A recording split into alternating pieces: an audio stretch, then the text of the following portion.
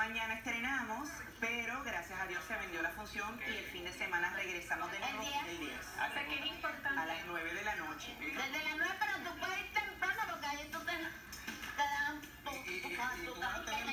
la- y vas a tener las alcapurras y las bisexuales ready también allí. Fíjate que no. No. No, la dejaste. Pero ni para nosotros no te ay, quieres, ay, no. ay, Si Hay la gente, otra comidita. si la Ay, con no. pica o sin pique. Con mucho pique bien.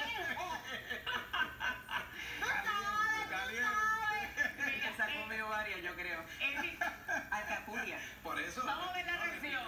Eh, esperamos la carita. Mira, este, Espera, No, este, pero bien interesante, eh, Nachali, lo que comentaste, o sea, para aquellas personas que han seguido la trayectoria de Amor en la Manca, sabes que cambia un poquito Sí, la historia, sabes que modernizado con lo personajes modernizado. diferentes. Es Y que cada actor, hay gente que ha repetido, obviamente los originales, Claro. José Epifanio, Raúl Ah, no. lo he hecho anteriormente, yo lo he hecho anteriormente, pero en diferentes personajes. Y cuando nos toca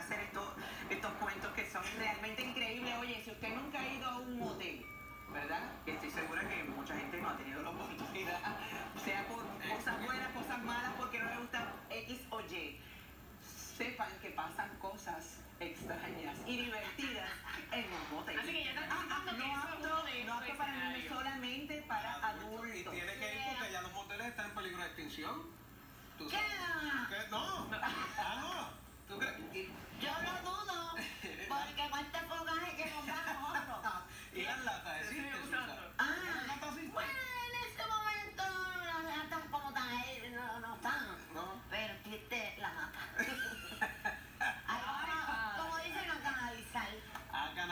Ay, fuera Bueno, sabes Hay muchos que quieren liberar el estrés. Por favor. Sí. Pero no un chat. Mira, en o una sea, hamaca. tú Por sabes eso. que la otra vez estuvimos como nueve años cogidos ahí. Ajá. Y, y bueno, teníamos libre los Viernes Santos.